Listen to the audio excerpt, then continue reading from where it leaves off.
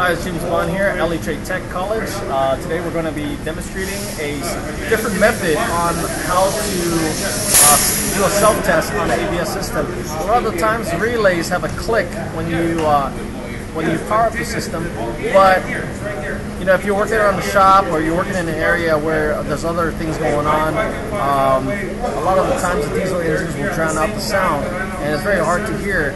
Uh, I'm going to show you a method on how to do this so that you get a, lot, a louder audio uh, in regards to um, how to hear from self-check. So follow me.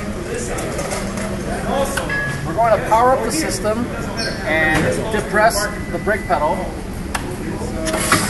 And when the self-test happens, you'll hear a loud pop.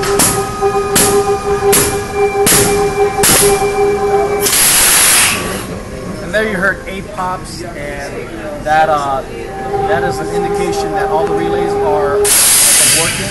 And uh, that was our final off there. And um, thank you for following along.